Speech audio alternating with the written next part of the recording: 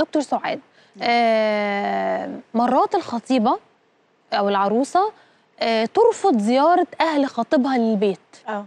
وت- وتقابله بره بقى تقعد تقول له إحنا نخرج بره تبقى بره. كافيهات ومطاعم وطول النهار بس تقول له لا مش عايزه أهلك يجوا بتخنق بتضايق. آه. ده حلال ولا حرام؟ لا طبعا يعني إذا كانت هي هم كويسين معاها وما بيتدخلوش في شؤونها الخاصة أيوه. يبقى لازم في ترابط بين الزيارات دي بتعمل ترابط. بتعمل مودة ورحمة بين الاسر فمش من حقها بصراحة.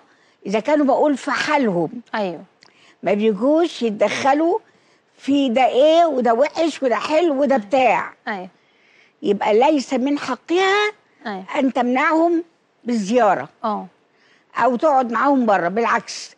تفتح لهم بيتها ويجتمعوا كلهم يقعوا- يقعدوا مع بعض قاعدة كده ظريفة.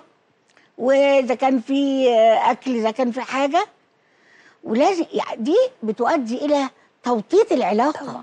المفروض يبقى عندها يوم. عيد إن هم يبقاش في جايين نفرة. آه. إحنا عايزين نبعد عن النفرة بين الناس. كلما كان هناك زيارات واتصالات ولقاءات. هدايا متبادلة تهادوا تحابوا بالظبط. هيبقى في تحب. أكتر. صحيح.